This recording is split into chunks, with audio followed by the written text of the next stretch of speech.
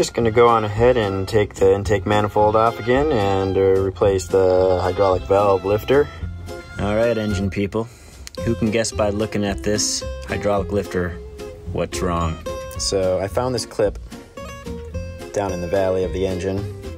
So normally that clip holds this little plunger down inside. It can only come up so much. Because that clip was gone, it just kept filling up with oil and it kept getting taller and taller. And that resulted in a ton of pressure on the lobe. But yeah, the lobe is trashed, but it still does have a lobe, so it's gonna run, but its days are numbered. Getting in the zone. Oh good, my tag is still on the wall. Let's change a lifter.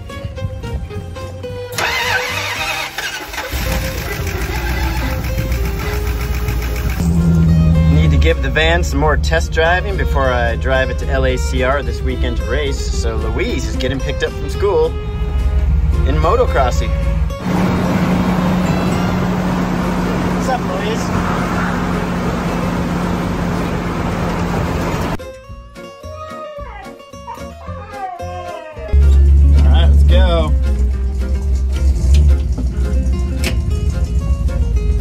Uh, can one of you guys remind me that my headlights are on when we get there?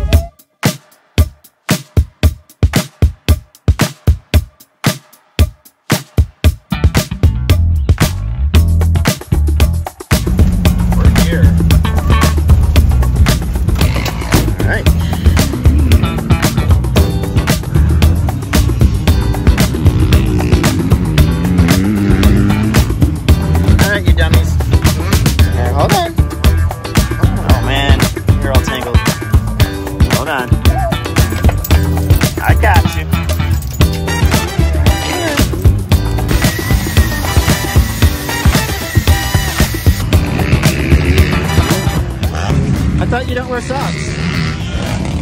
I decided to change my mind. Because I wear them? No, well, yes. Yeah.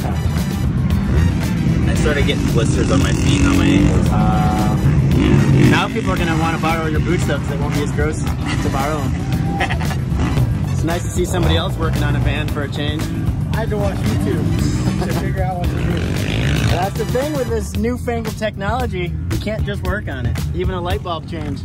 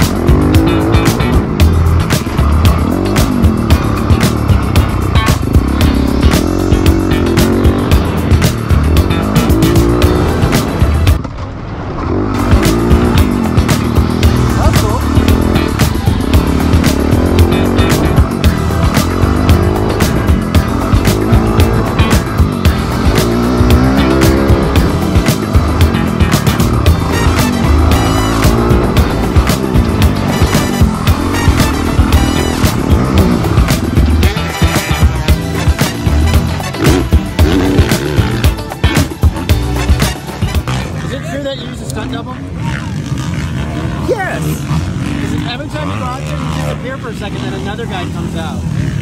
Uh, well, they do. You know, they said we all look alike. I do have a twin.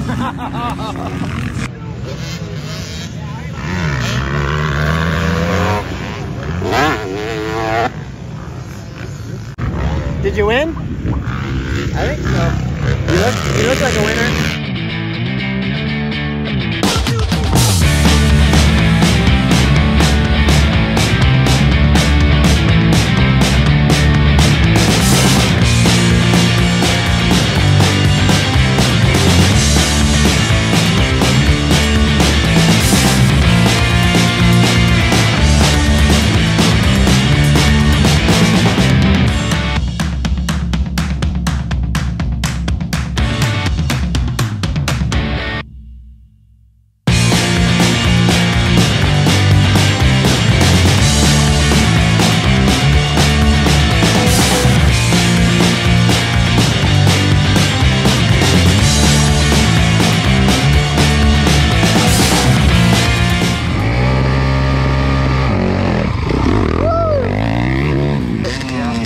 Did. Your tire caught it. And Yeah.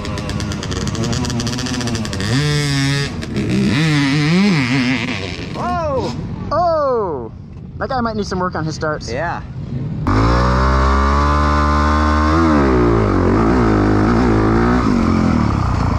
Hey Shasta, you're the only person I have to talk to, or the only living creature I have to talk to, so we have to talk. How was your experience at the track today? Pee on a lot of stuff? I felt like garbage on the bike, Shasta. So I ended up just practicing starts, because anytime I left the ground on the bike, I felt completely out of control today. It was kind of weird.